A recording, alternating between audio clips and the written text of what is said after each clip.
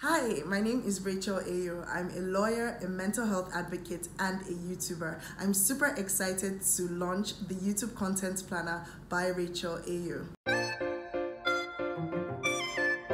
I started creating content on YouTube about a couple of years ago, and for the most part, it has been super enlightening and amazing. In planning content for my YouTube channel, I typically write out my to do list, I write out the list of videos that I want to record with proposed posting dates, and I also write down my talking points or my notes that would assist me while I'm recording videos for YouTube, especially sit down videos. Recently, I started thinking of an all in one stress free solution that would help YouTubers like myself myself to plan YouTube content, schedule uploads, and make the planning and creation of content process easier.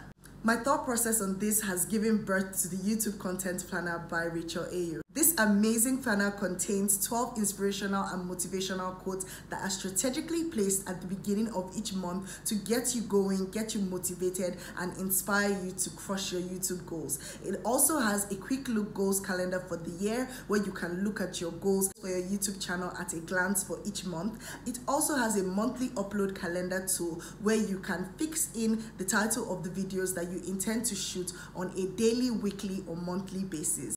The YouTube Content Planner also provides space for writing down video ideas and notes as they come to you, or even your talking points that could assist you, especially when you're shooting sit down videos.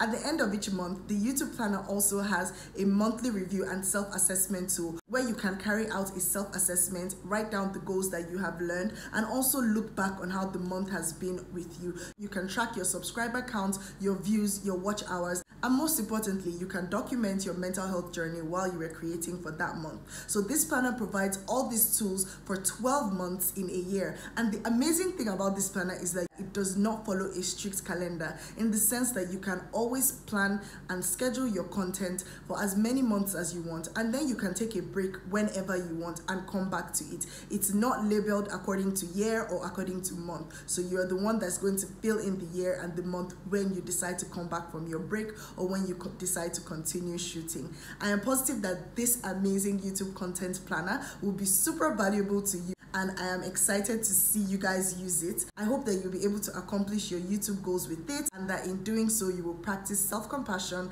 and prioritize your mental health. The YouTube Content Planner by Rachel Eyo is available for pre-order now. So click the link and get started on ordering your YouTube Content Planner today.